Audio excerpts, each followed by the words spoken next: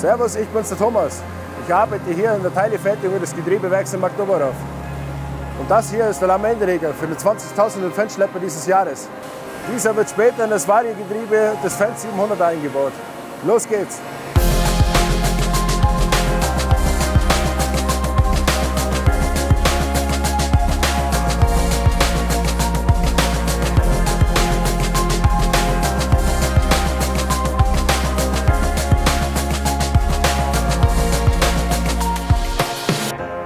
Servus, ich bin's der Kemal.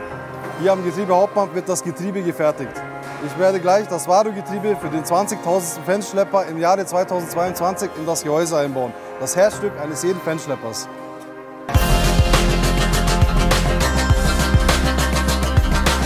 Hi, mein Name ist Stefan. Das Vario-Getriebe ist jetzt fertig. An dieser Station beginnt die Montage des 20.000. Schleppers diesen Jahres. Neben dem Hauptband finden noch weitere Vorarbeiten statt. Die Teile werden von unserer Logistik ans Hauptband geliefert.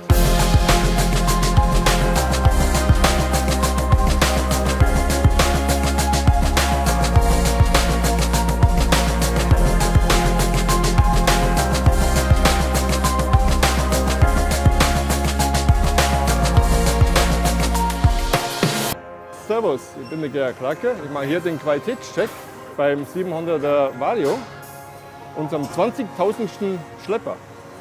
Bevor die Kabine hier verbaut wird, wird sie produziert in Bäumenheim. Und da schauen wir jetzt mal hin.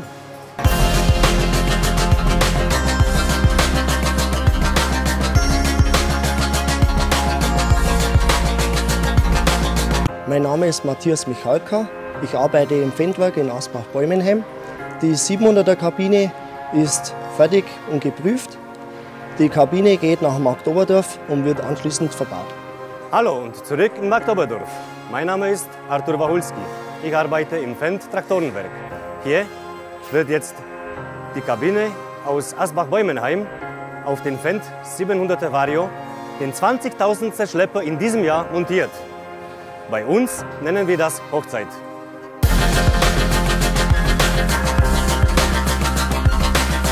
Bin der Sebastian. Wir sind hier am Lichttunnel, an dem alle Schlepper auf Qualität überprüft werden.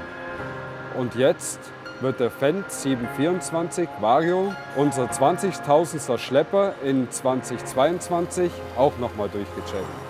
20.000 Traktoren in einem Jahr. Das haben wir in der 92-jährigen Fendt-Geschichte bis dato noch nie geschafft. Es macht mich und alle anderen Fendler extrem stolz, dass wir diesen Kraftakt gerade in diesem wirklich herausfordernden Jahr auch dieses Jahr geschafft haben. Dieser 724 wird dieses Jahr noch ausgeliefert in die Niederlande. Da gibt es schon einen Händler, der mit Sicherheit sehnsüchtig auf diesen Traktor wartet und wahrscheinlich ihn auch noch dieses Jahr an einen niederländischen Kunden übergibt. Vielen herzlichen Dank nochmal.